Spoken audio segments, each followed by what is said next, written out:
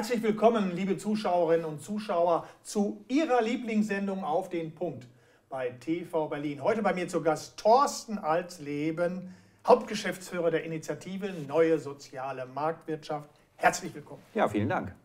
Thorsten Alsleben. Äh, es geht äh, bei der Initiative Neue Soziale Marktwirtschaft um Bürokratieabbau. Da gibt es gerade eine Initiative. Was steckt dahinter? Was ist da los?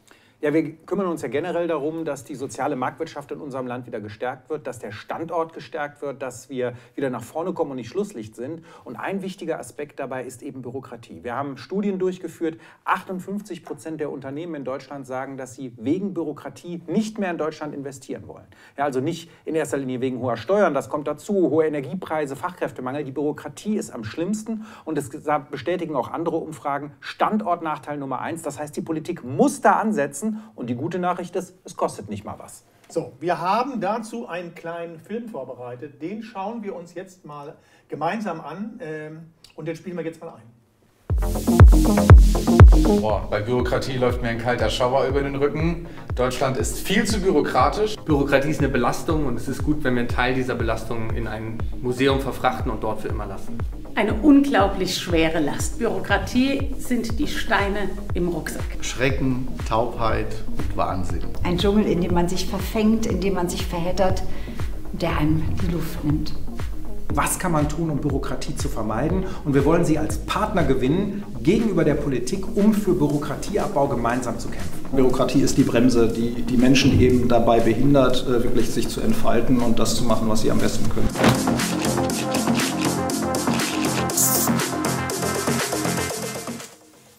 ist ja sehr aufwendig, Thorsten Alsleben. Was bringt so eine Initiative mit dem Aufwand? Ja, also wir haben das weltweit erste Bürokratiemuseum eröffnet hier in Berlin. Es ist ein Pop-up-Museum. Leider, wir würden es gern für immer aufhaben. Zumindest so lange, bis die überflüssige Bürokratie abgeschafft ist. Aber es ist jetzt noch eine Woche auf. Ähm, ja, wenn wir unsere politischen Botschaften versuchen, an den Mann, an die Frau zu bringen, vor allem natürlich ans politische Berlin, an die Politiker, an Journalisten, dann muss man sich immer originelle Kampagnenideen überlegen. Und bei Bürokratie redet jeder drüber und jeder sagt, ja, da muss was geschehen, aber es fehlen so anschauliche Beispiele. Und wir haben gedacht, mit so einem Museum schaffen wir einen Ort, wo Leute hinkommen, auch Politiker. Und wir hatten viele Politiker da in den letzten Wochen. Und dann können wir über die Themen reden, wie belastend Bürokratie ist. Dort ist es mal mit einem Augenzwinkern oder mit einem Schmunzeln gezeigt, aber der, der Kern ist ja sehr ernst. Und dann können wir darüber reden, wie kann man das denn wirklich substanziell abbauen. Und ich muss sagen, wir machen viele Kampagnen zu vielen Themen, äh, aber so einen engen Kontakt zur Politik und auch zu Medien wie jetzt in diesem Museum hatten wir noch nie bei einer Kampagne. Und deswegen würde ich sagen, es war sehr aufwendig, aber es war ein großer Erfolg. Nun ist Bürokratieabbau ein Megathema, nicht nur heute, sondern seit Jahren, im Grunde seit Jahrzehnten. Ich erinnere mich noch, als ich ARD-Korrespondent war in der Ära Merkel. Äh, Thorsten Alsleben war im ZDF-Hauptstadtstudio, ich war im ARD-Hauptstadtstudio und wir haben auch über Bürokratieabbau damals diskutiert. Es gab äh, Kommissionen und so weiter und so fort. Ich frage mich, warum ist das immer noch ein Thema und warum tut sich da nichts? Also ich glaube, es sind zwei Dinge. Zum einen ähm, gibt es in Deutschland in der Verwaltung, auch in der Politik, ein sehr starkes Misstrauen gegenüber den Bürgern und den Unternehmen. Und deswegen versucht man, jedes Risiko auszuschließen, jede theoretische Missbrauchsmöglichkeit durch Kontrollen, durch Papier, äh, äh durch sehr viele Regelungen von möglichen Einzelfällen. Und das macht es am Ende für die Unternehmen wahnsinnig unübersichtlich und komplex. Ja, das Beispiel, das hat der Justizminister, der jetzt für Bürokratieabbau zuständig ist, selbst genannt. In der Bäckerei, da kommt an einem Tag der Arbeitsschutz und sagt, die Fliesen sind zu glatt, da rutschen deine Mitarbeiter aus. Du musst geriffelte Fliesen nehmen. Und am nächsten Tag kommt der Gesundheitsschutz und sagt, geriffelte Fliesen, da sammelt sich der Dreck, äh, das ist nicht gut für die Ware, ist gesundheitsgefährdend. Das heißt, die Behörden oder die Politik macht ja von unterschiedlichen Richtungen Auflagen und denkt gar nicht, was hat denn die andere für Interessen. Und das gibt natürlich eine Regelungswut. Wir haben in Deutschland allein fast 5000 Bundesgesetze und Verordnungen mit fast 100.000 Einzelnormen. Dazu kommen Landesgesetze, Kommunalsatzungen, unmittelbares EU-Recht. Das können Unternehmen nicht ertragen. Zweiter Punkt. Wir sind sehr analog. Ja, viele, viele Länder sind viel weiter als wir, was Digitalisierung angeht. Wenn die Daten automatisch erhoben werden, wenn man Prozesse, Antragswesen, alles digital machen könnte, würde man die Bürokratie nicht ganz so stark spüren. Und Deutschland ist da weit, weit zurück. Wir muss, also es muss was getan werden. Äh, jetzt waren ja viele Politiker äh, äh in, in, da zu Gast in dem Museum. Mhm. Was haben die denn gesagt? Mensch, nochmal, wo packen wir jetzt an? Oder zum Beispiel könnte man ja noch mal drüber philosophieren. CDU, CSU hat jetzt ein Programm aufgesetzt und sagt, okay, wenn wir drankommen, dann machen wir alles anders. Ist das so? Das ist so, ja. Also, und es gab auch in den Debatten in dem Museum äh, dann auch nochmal Lerneffekte. Also zum Beispiel, wir haben eine Forderung Verfallsdatum für Gesetze. Das heißt, man schafft ein neues Gesetz und sagt dann, nach fünf oder sechs Jahren muss das evaluiert werden. Das heißt, man untersucht, wie hat das gewirkt. Man befragt auch die Unternehmen, die betroffen sind. Und ein Jahr später läuft das automatisch aus. Und wenn man jetzt sagt, das Gesetz war eigentlich gut oder man muss es nur ein bisschen ändern, dann muss es komplett neu beschlossen werden. Warum bringt das was? Wir haben seit 26 Jahren Regierungen, wo immer mindestens ein Regierungspartner schon der Vorgängerregierung angehörte. Und die versuchen immer zu verhindern, dass ihre Gesetze äh, wieder abgeschafft werden. Wenn die aber automatisch abgeschafft werden, dann muss man aktiv eine Mehrheit finden, wieder das Gesetz zu erneuern. Und so würde peu à peu, zumindest würden die Gesetze abgebaut, die nicht wirkungsvoll sind oder die zu schädlich sind. Ich war neulich im Baltikum unterwegs, auch in Estland, also ein wunderbares ja. Land, was die Digitalisierung betrifft, alles mit dem äh, Mobile äh, zu machen. Auf der anderen Seite habe ich letzte Woche im Baumarkt äh, 20 äh, Säcke Kies für unseren Kiesweg gekauft, mit Zulieferung. Ich hatte so einen Stapel von äh, von, von Zetteln, wo drauf stand das und dies und das und so weiter und die Rechnung kam dann nochmal online und so. In Estland hält man ein Handy hin und dann wird alles sozusagen verarbeitet. Warum ist das bei uns nicht möglich, diese Digitalisierung und die Bürokratisierung ganz schnell abzubauen? Also das Wichtigste ist Datenschutz. Äh, in Deutschland wird der Datenschutz viel ernster genommen als in anderen Laden, Ländern. Also die DSGVO ist ja eine EU-Regelung, die müsste ja überall gleich wirken, tut sie aber nicht.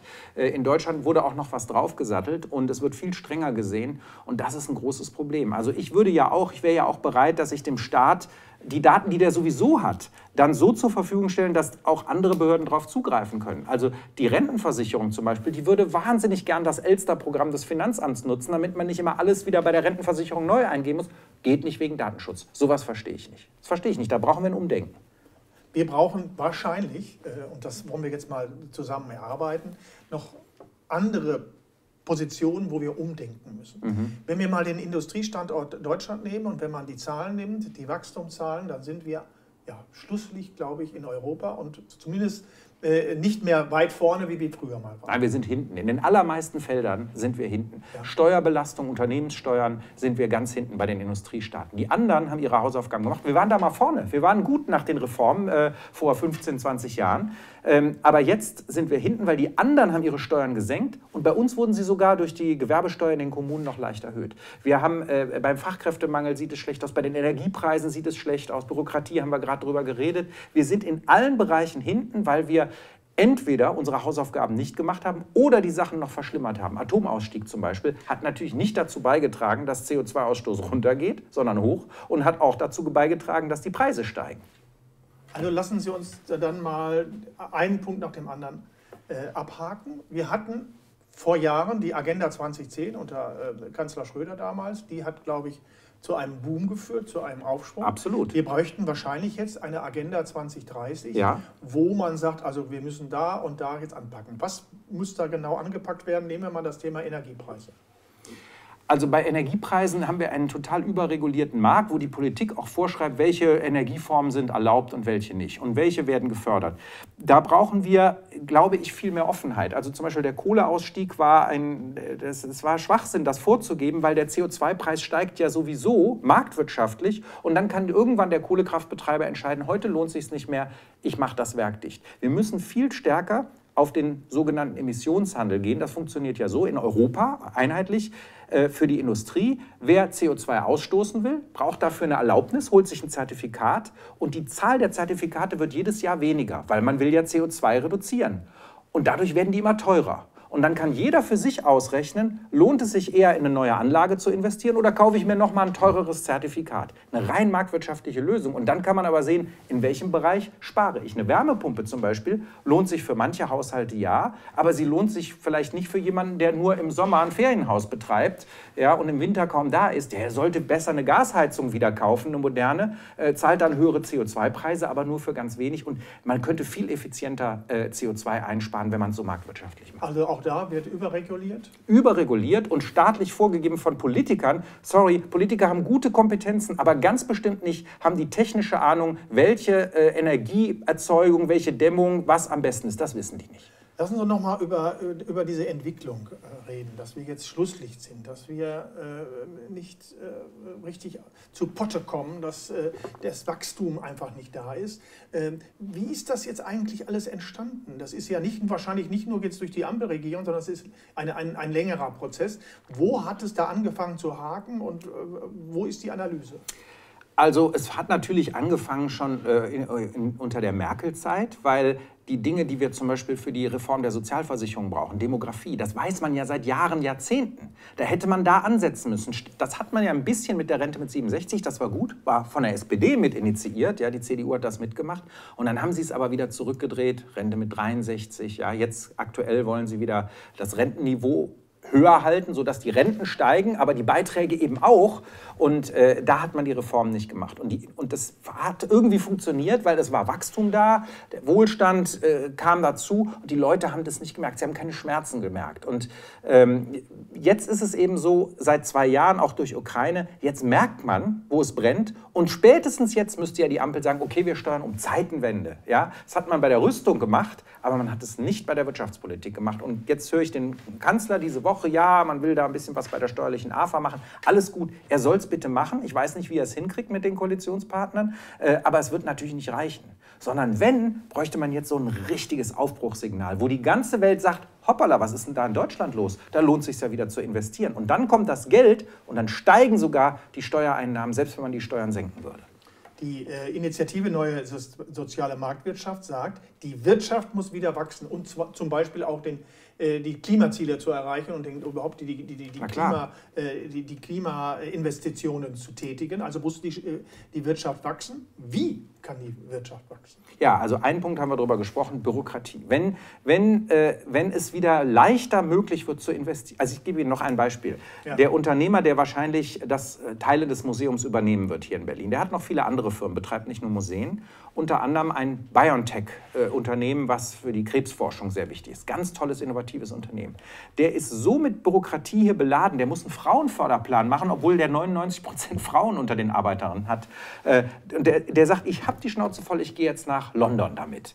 Das heißt, die Bürokratie hat ihm die Luft zum Atmen genommen. Wenn man das verändert, würde das schon wahnsinnig viel helfen und es kostet gar nichts. Sondern die Unternehmen haben das Gefühl, hey, der Staat misstraut mir nicht mehr, ich kann wieder richtig arbeiten und dann gibt es auch einen Boom. Das wäre das Erste. Würde ich sofort äh, Wie müsste man das machen? Einfach Gesetze äh, verabschieden und sagen, das, das gilt jetzt nicht mehr? Oder was müsste man also interessanterweise, Herr Söder in Bayern hat das jetzt gemacht. Der hat, äh, erstens hat er dieses Verfallsdatum für Gesetze äh, eingeführt. Zweitens hat er jetzt zum Beispiel in der Landesbauordnung ganz viele Vorschriften einfach gestrichen. Das heißt, man hat dann gar nicht mehr die Restriktionen. Im Moment ist es so, reichst eine Baugenehmigung, äh, einen Bauantrag ein und kriegst eine wird abgelehnt. Du weißt nicht warum, dann redest du mit denen, reichst wieder ein, wird wieder abgelehnt. Und da sind halt viele Dinge, die dann einfach laufen. Dann wird gebaut, dann ist man schneller fertig, kann schneller wirtschaften. Das macht sich sehr schnell bemerkbar. Also Bürokratieabbau wäre das Erste. Das Zweite wäre, wir müssen bei den Unternehmenssteuern ran. Die müssen gesenkt werden. Weil ist doch klar, wenn ein internationaler Investor kommt und sagt, wo gehe ich jetzt hin und baue eine neue Forschungs- oder Produktionsstätte, dann machen die Unternehmensberatungen eine Liste und da steht drin, in welchem Land welche Vor- und Nachteile und in Deutschland steht eben der höchste Steuersatz. Ist ein ganz wichtiger Grund, um zu sagen, nee, dann gehen wir aber nicht dahin. Ja, also deswegen Unternehmenssteuersätze müssen runter. Wir müssen nicht Niedrigsteuerland werden, aber wenigstens im Durchschnitt der Industriestaaten wäre der zweite Schritt, würde ich auch sofort angehen.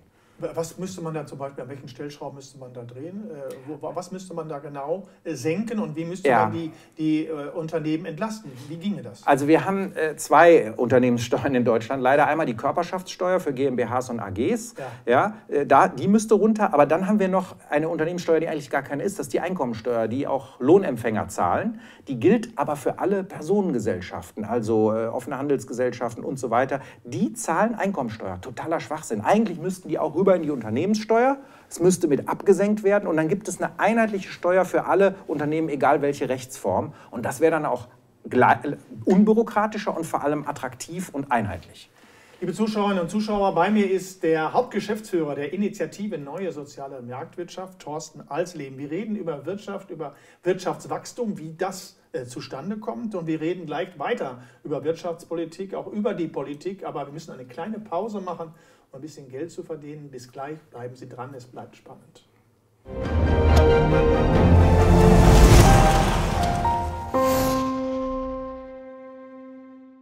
Herzlich willkommen zurück, liebe Zuschauerinnen und Zuschauer, zu Ihrer Lieblingssendung auf den Punkt bei TV Berlin. Bei mir zu Gast ist Thorsten Alsleben, ehemaliger geschätzter Kollege des äh, ZDF Hauptstadtstudios. Er war dann auch noch Geschäftsführer des MIT, des Mittelstand- und Wirtschaftsunion. Und jetzt bringt er die neue Initiative Soziale Marktwirtschaft zu neuen Höhen. Da ist richtig was los. Da dampft es und wir reden über Wirtschaftspolitik und wir reden über Wirtschaftsminister Habeck. Was macht er falsch? Ich fange mal an, was er richtig macht. Äh, Habeck kann wie kein zweiter äh, authentisch kommunizieren. Ja, also wenn man sich mit ihm unterhält oder wenn man ihm zuhört, dann hat man das Gefühl, da ist jemand, der hinterfragt auch Dinge, der denkt drüber nach, äh, der hadert auch manchmal mit sich. Also man kann ihm ja fast beim Nachdenken zusehen. Ähm, so, also Kommunikation beherrscht er, macht auch ab und zu so schöne Videos, wo man sagt, jawohl, da hat er recht. Das Problem ist, er liefert nicht. Und im ersten Jahr ist auch, muss ich sagen, die deutsche Wirtschaft, die Verbände ihm so ein bisschen auf den Leim gegangen. Ja, haben gesagt, oh, toller Mensch und der ist ja gar nicht so ideologisch und so weiter. Faktisch hat er aber eine knallhart grüne Politik gemacht mit Regulierung. Wir erinnern uns an das Heizungsgesetz. Äh, und die Dinge, die jetzt notwendig sind, setzt er nicht um. Immerhin hat er jetzt erkannt, dass zum Beispiel so eine bürokratische Monsterregulierung wie das Lieferketten-Sorgfaltspflichtengesetz, was die Unternehmen sehr belastet, dass er gesagt hat, das müssten wir eigentlich auslaufen lassen. Das sagt seit äh, drei Jahren die Union, äh, seit zwei Jahren die FDP. Äh, jetzt sagt er es auch als Grüner, aber es passiert ja nichts, weil Herr Scholz nicht mitmacht. So, was nützt es dann? Ja, und deswegen würde ich sagen, äh, Herr Habeck wäre ein guter Sprecher oder Kommunikationsberater, aber er ist kein guter Wirtschaftsminister.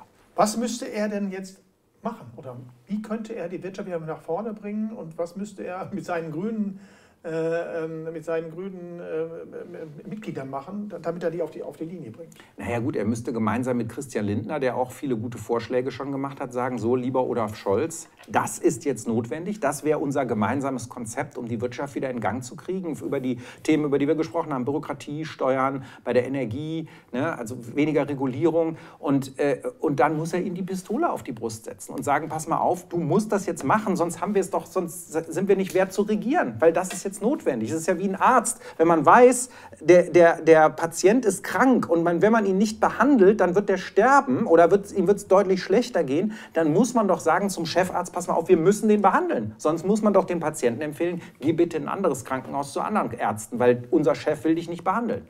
So ist es. Eine weitere Betrachtung jetzt neben dem Wirtschaftsministerium ist die Ampelregierung gut zweieinhalb Jahre. Sind Sie jetzt äh, am Drücker, kann man ja sagen, mhm. also in der Regierung, in der Bundesregierung. Vergleichbar jetzt mal, wir hatten eine Schröder-Regierung, äh, grün-rot. Wir hatten ähm, eine Merkel-Regierung, mal mit der FDP, mal äh, mit der SPD. Jetzt haben wir die Ampelregierung. Was ist da, wenn man das alles vergleicht, ja, schiefgelaufen? Also Sie haben ja ganz, Sie sind ja gut gestartet. Ja, Sie haben sich als Fortschrittskoalition verkauft, was auch zunächst mal richtig oder gut ist. Sie haben sich äh, in einer anderen Art der Kommunikation verkauft. Ja, diese Selfie-Bilder, die alle einheitlich waren über die sozialen Medien. Ja, da hatte man das Gefühl, ah, hier ist so ein Aufbruch. Der hat sich aber in keiner Weise wirtschaftspolitisch wiedergespiegelt. Es gab natürlich so ein paar gesellschaftspolitische Veränderungen, die aber hoch umstritten sind. Also ich würde sagen, wenn man äh, zweimal im Jahr das Geschlecht wechseln kann, ist das jetzt nichts, was die Mehrheit der Bevölkerung begeistert. Ja, ja Cannabis-Verbot äh, aufgehoben, begeistert auch nicht die Mehrheit. Das ist so eine Klientelpolitik für ein paar eigene Wählergruppen. Ja, also das ist jetzt nichts, was man in Deutschland insgesamt als Fortschritt äh, sehen würde. Und wirtschaftspolitisch ist es ganz klar ein Rückschritt. Und wenn man das jetzt mal zum Beispiel mit Schröder vergleicht, das war rot-grün.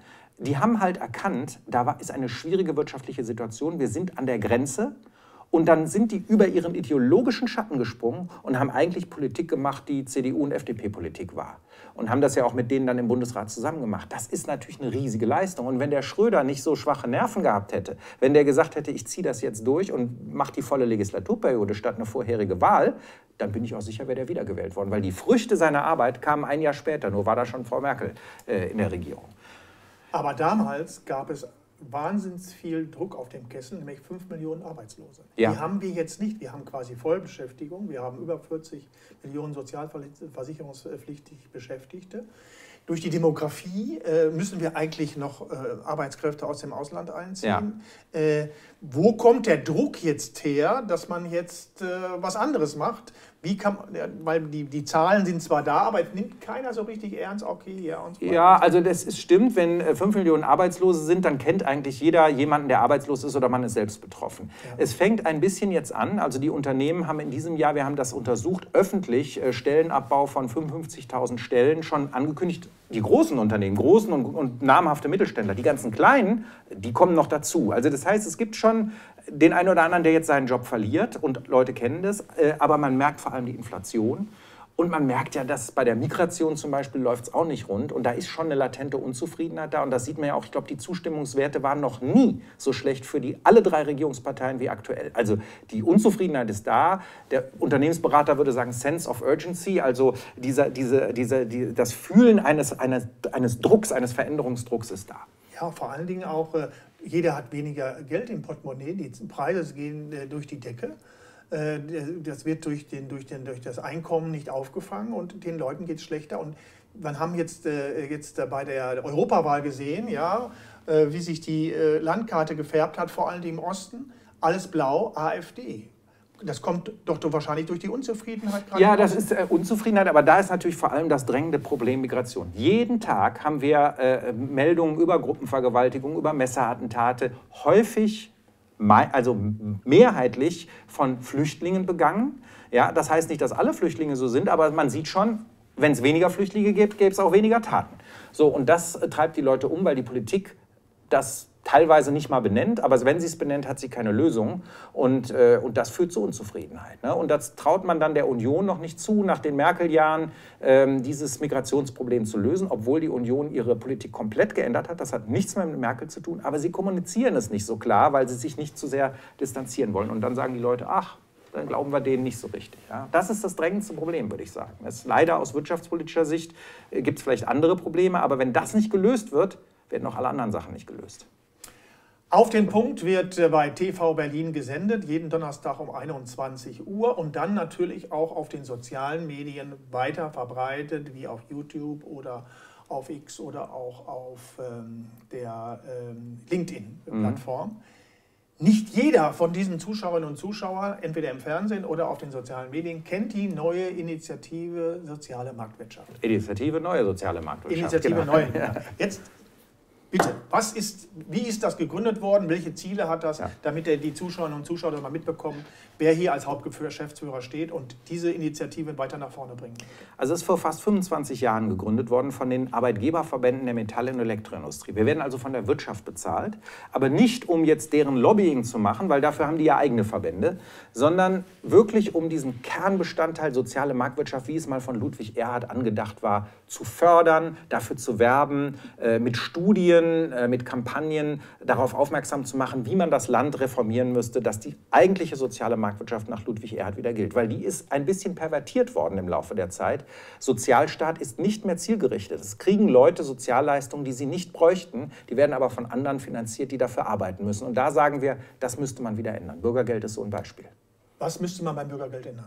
Na, beim Bürgergeld, da sind ja die äh, Kosten exorbitant gestiegen. Ja, wir, wir hatten, glaube ich, bei Hartz IV knapp 30 Milliarden Kosten und jetzt sind wir schon fast bei 50 Milliarden, ja, äh, obwohl es ja nicht mehr empfängt, also obwohl nicht mehr Leute sozial bedürftig sind. Das heißt, Bürgergeld bekommen Menschen, die es nicht bekommen müssten die arbeiten könnten, äh, wenigstens ein paar Stunden, vielleicht auch Vollzeit, äh, die äh, aber so auskömmlich vom Staat versorgt werden, dass es sich für sie nicht lohnt. Das ist ja eine rein ökonomische Entscheidung, ist doch klar. Wenn ich für mich überlege, kann ich mit Nichtarbeit auskommen und mit mehr Arbeit aber unwesentlich mehr Geld nur haben, dann würde ich vielleicht auch nicht arbeiten. Ja? Und, äh, und deswegen ist der Staat aufgerufen, das so zu ändern, dass es sich wieder lohnt zu arbeiten.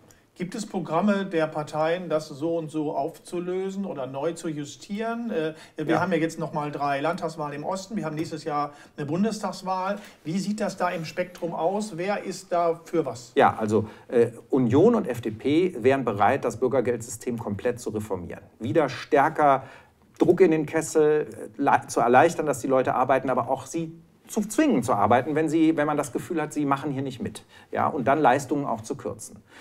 Ich würde auch sagen, es gibt eine große Mehrheit dafür in Deutschland, das so zu machen. Leider gibt es keine Mehrheit im Bundestag dafür, das so zu machen. Und das liegt unter anderem daran, dass äh, viele Leute, die diese Änderungen wollen, dann die AfD wählen, die AfD aber nicht, äh, äh, die anderen Parteien nicht bereit sind, mit der AfD zusammenzuarbeiten, aus guten Gründen. Ähm, und deswegen fällt dieser Teil des Wählerspektrums raus, obwohl der ja da ist. Ja, und äh, da kann sich jetzt jeder selber überlegen, ob es sich lohnt, eine Partei zu wählen, die auf keinen Fall mitregieren wird, nur um seinen Protest auszuüben. Oder ob man sagt, nee, ich will ja, dass sich was ändert, dann muss man eben die Parteien wählen, die am ehesten bereit sind, auch was zu ändern. Wir haben noch nicht gesprochen über den, Arbeit, äh, über den Fachkräftemangel. Wie können wir sozusagen als Industrieland wieder attraktiv machen, dass die Leute zu uns kommen und mithelfen? Äh, ich erinnere mich noch in den 50er, 60er Jahren, dieses Wirtschaftswunder. Wir waren einfach attraktiv. Bei uns gab es Arbeit, bei uns gab es gute Löhne.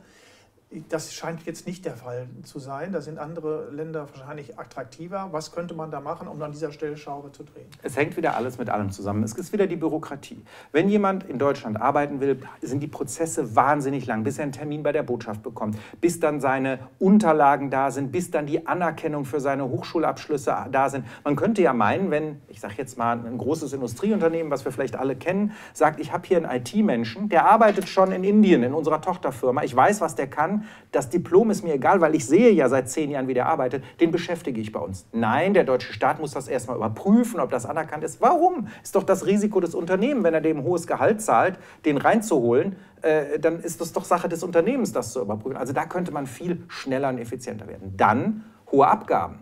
Wenn der Softwareingenieur aus Indien kommt und sagt, boah, die geben mir ein super Gehalt, ich komme nach Deutschland, dann sieht er seinen ersten Lohnzettel und sieht, wie wenig davon übrig bleibt. Das spricht sich herum, dann sagen die, nee, das lohnt sich nicht, dann gehe ich doch lieber nach Großbritannien, da bleibt mehr übrig. Ja, also Bürokratie Abgabenlast und natürlich das Migrationsthema. Wenn das Migrationsthema dazu führt, die Schulen sind voll, ja, wir haben nicht mehr genug Lehrer für die ganzen Leute, äh, äh, die, äh, die Wohnraumsituation ist schwer, weil wir die ja alle unterbringen müssen und gleichzeitig gibt es immer mehr Aversion in der Bevölkerung, dann sagt natürlich ein Hochqualifizierter, nee, in dieses Land will ich dann auch nicht. Also haben wir drei große Themen, die gelöst werden müssen, um das Fachkräftethema zu lösen. Und es ist noch ein Thema, nämlich die Energiepreise. Wir haben jetzt gehört, dass BASF äh, verlagern will und weggeht. Wir haben jetzt gerade gehört von dem äh, Familienunternehmen Miele, die äh, Produktion nach Polen verlegen wollen. Richtig. Äh, das sind ja, ich sag mal, Zeichen. Ja. Da, ist ja, da steckt ja was etwas dahinter. Und äh, äh, woher kommt das und was, wie kann man das sozusagen stoppen? Ja, also das, da ist Energiepreis ist da eine Komponente. Äh, für die Großindustrie sind die Energiepreise gar nicht so schlecht, weil die ja subventioniert werden ähm, äh, und weil da bestimmte Abgaben nicht anfallen. Schwieriger ist es für den ganzen Mittelstand, der nicht jetzt energieintensiv ist, der aber trotzdem hohe Energiekosten hat. Für den ist er im internationalen Wettbewerb, steht er hier schlechter. Und es ist dann immer die Fülle. Also äh, man muss das vergleichen bei Gullivers Reisen. Der Riese der ist jedem dieser Zwerge überlegen. Der ist auch 10 oder 100 Zwergen überlegen, aber nicht 1000. Und mit 1000 kleinen Bändern kann man den Riesen fesseln. Und alles das, was wir jetzt haben, Bürokratie, ganz viele Regelungen, äh, hohe Abgabenlast, hohe Energiepreise, ja, eine gewisse Forschungsfeindlichkeit, auch eine Neidkultur, dann die Migrationsprobleme, alles das sind Fesseln für das Unternehmen und die führen dazu, dass es sich nicht mehr bewegen kann. Und dann sagt der Unternehmer entweder, ich gebe auf, oder er sagt, ich mache weiter, aber nicht hier. Kurz vor Schluss müssen wir unbedingt noch über den Haushalt 25 reden. Wir sind jetzt mitten äh, oder kurz davor der äh, parlamentarischen Sommerpause. Da äh, soll ja noch was passieren. Ja. Kommt er noch durch und was ist da eigentlich los? Was sagt der Marktwirtschaftler zu den Haushaltsberatungen? Also äh, die Beteiligten sagen ja, sie kriegen eine Lösung noch vor der Sommerpause hin. Ich bin sehr gespannt, weil es ist die Quadratur des Kreises. Äh, ne? Die Schuldenbremse, sagen die einen, muss eingehalten werden, denke ich auch. Die anderen sagen, wir brauchen aber mehr Geld für dies und das und jenes und wollen gleichzeitig bei den Sozialleistungen nicht kürzen. Also die beiden Bedingungen. Ich weiß nicht, wie die das zusammenbringen wollen. Vielleicht gibt es irgendeinen Trick von irgendwelchen Haushaltstöpfen, die noch nicht entdeckt sind aus dem Vorjahr. Ähm, aber äh, auf Dauer kann das so nicht gut gehen. Also man muss irgendwann priorisieren und sagen, wir können nicht mehr weitermachen wie bisher. Wir müssen da sparen und dann haben wir auch wieder Geld für Investitionen. Abschlussfrage. Thorsten Alsleben, ZDF-Hauptstadtkorrespondent bei der MIT und jetzt bei der Initiative Neue Soziale Marktwirtschaft. Was macht besonders Spaß? Was treibt den Thorsten Alsleben an? Also jeder dieser Jobs hat mir immer riesig Spaß gemacht. Äh, bei dem neuen Job gefällt mir einmal, dass wir überparteilich sind. Also äh, ne, wenn man bei der Mittelstandsunion der CDU ist, ist man halt Teil der Partei. Ähm, jetzt kann ich die Partei auch loben und kritisieren, so wie ich es für richtig halte und auch jede andere Partei. Und ich habe sehr viel Freiheit in dem, was wir machen. Das Museum haben wir angesprochen. Wann hat man in seinem Leben mal eine Chance, ein Museum zu eröffnen? Ja, und das finde ich ganz toll. Und wenn die Zuschauer noch vorbeikommen möchten, bis 4.7. ist es noch auf, dann können sich die Exponate ansehen. Das war ein schönes Schlusswort. Thorsten Alsleben, vielen, vielen Dank für diesen Besuch hier bei Auf den Punkt. Und auch Ihnen, liebe Zuschauerinnen und Zuschauer, vielen Dank fürs Zuschauen. Bis zum nächsten Mal bleiben Sie der Sendung gewogen und auch TV Berlin. Auf Wiedersehen und Tschüss.